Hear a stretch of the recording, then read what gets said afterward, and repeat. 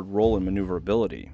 The F 14 served the U.S. Navy from 1974 to 2006 and made its combat debut in April 1975, escorting American citizens out of Saigon.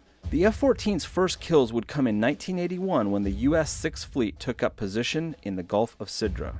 Colonel Muammar Gaddafi made it clear to the U.S. that to sail into my Gulf is to cross the line of death. The Libyans scrambled two Soviet built Su 22 fighters armed with heat seeking missiles and opened fire on the Tomcats. The F 14 showcased their superior maneuverability in dogfighting, evading all missiles, and shot the Su 22s out of the sky. Questions immediately abound as to what this meant and if Libya would go to war with the US. Ultimately, such was the confidence in the F 14 that President Reagan's staff would let him sleep another six hours before briefing him on the tense incident.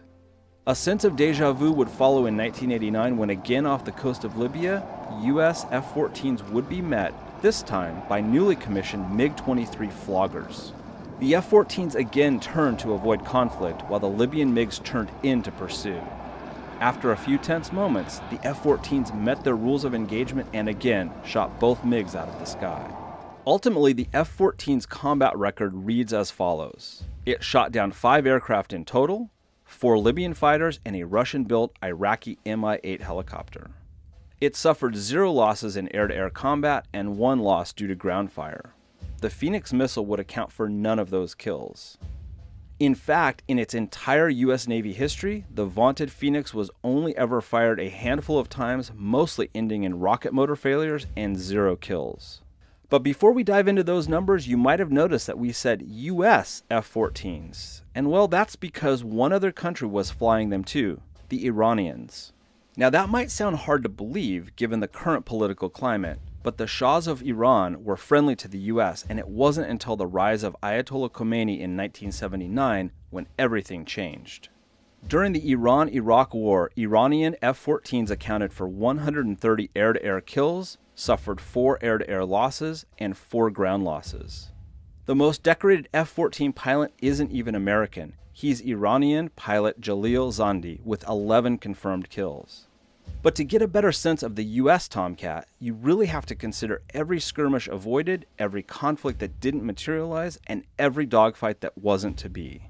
One of the most iconic images of the US Tomcat is playing host and escort to unwanted Soviet Tu 95 Bear reconnaissance aircraft during the Cold War.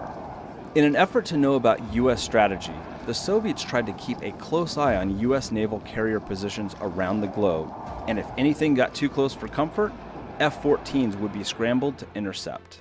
Most enemy aircraft were ordered to immediately disengage and run away, just at the mere sight of being painted by the F 14's giant long range radar.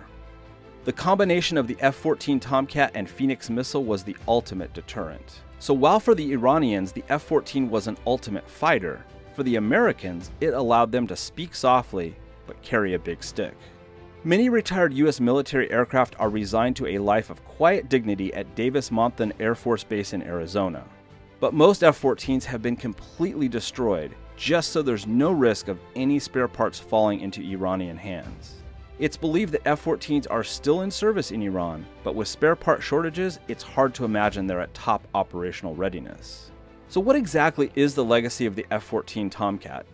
It has already taken its rightful place as one of the coolest, most capable fighter jets ever to grace the skies and marked a technological milestone in air superiority fighters.